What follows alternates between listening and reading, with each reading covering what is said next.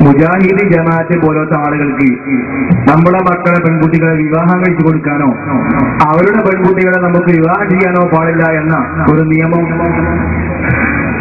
Jamal മോദിയൊരു ആരും ജോലി ദർശനം നടത്തുന്ന ഒരു റാലി പരസ്യമായി പ്രസംഗിക്കുകയും അതിന് അനുകൂലമായി ശക്തമായ ഒരു നിയമം ഉടലെടുക്കുകയും ചെയ്തു. ഇതിന്റെ തീരുമാനം എന്താണെന്ന് ഉസ്താദന്മാരെ വ്യക്തമാക്കിയാൽ കൊള്ളാമായിരുന്നു. പാടില്ല എന്നല്ലേ ഇസ്ലാമിൽ സ്ഥിരപ്പെട്ട നിയമമാണ് അതിന് കുഴപ്പമൊന്നുമില്ല. അത് പലരും പറഞ്ഞു. അതല്ലേ പോലീസിൽ അങ്ങനെ പറഞ്ഞു പാടില്ല അതെ മുജാഹിദിന്റെ പെൺകുട്ടികളെ സുന്നികൾക്കോ സുന്നികളുടെ പെൺകുട്ടികളെ മുജാഹിദികൾക്കോ വിവാഹം ചെയ്തു കൊടുക്കുന്ന ചെറിയ ഹുക്കുമുണ്ട്. പാടില്ലാത്ത കാര്യമാണ് ബഹുമാനപ്പെട്ട ഇമാം ഇബിൻ ഹജർ ലൈസമിയൽ ഫത്താവൽ കുബറയിൽ പറഞ്ഞിട്ടുണ്ട്. സുഹൃത്തയുടെ ഏഴാമത്തെ വാല്യത്തിൽ പറഞ്ഞിട്ടുണ്ട്. അതിനൊക്കെ പുറത്ത് മുഹദ്ദീൻ സീദ് റഹ്മത്തുള്ളാഹി അലൈഹി തന്റെ ഉന്നത്തു സ്വാലിമീൻ എന്ന ഗ്രന്ഥത്തിൽ പറഞ്ഞിട്ടുണ്ട്. ഇമാം ഇബിൻ ഹജർ ലൈസമി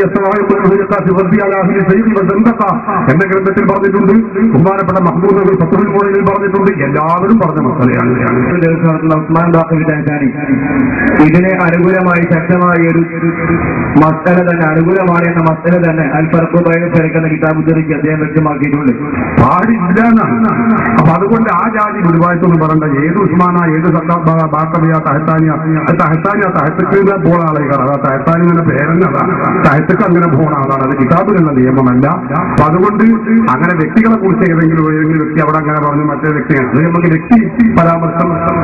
അത് അവരോട് ചോദിക്കണം. അത് റൈൻ സാഹിബ് പറഞ്ഞതല്ല. അവരോട് ചോദിക്കണം. നമ്മൾ ഉത്തരവാദിയല്ല നമ്മൾ ഇസ്ലാമിന്റെ നിയമമാണ് ഈ പറയുന്നത്. അത് ആ വ്യക്തി ഇങ്ങനെ പറഞ്ഞ വ്യക്തിയാണ് നമ്മൾക്ക് അതിന് താല്പര്യമില്ല. വ്യക്തി പരാമർശങ്ങൾ ഏതെങ്കിലും ആളുകൾ അല്ല മസ്തരയിൽ കുഴപ്പം തെറ്റോ പറഞ്ഞിട്ടുണ്ടെങ്കിൽ അവർ നമ്മൾ അവർക്ക് അത് ശരിയാക്കുക എന്നല്ലാതെ അവർ നമ്മൾ പൊതുവേദിയിൽ വെച്ച് അങ്ങനെ പറഞ്ഞ് പരാമർശിക്കേണ്ടതില്ല. നിങ്ങൾ തന്നെ ചെയ്തു വരുന്ന ഒരു കാര്യത്തിന് ഒന്നിൽ ഹലാലും മറ്റൊന്നിൽ ഹറാമും ഒക്കെ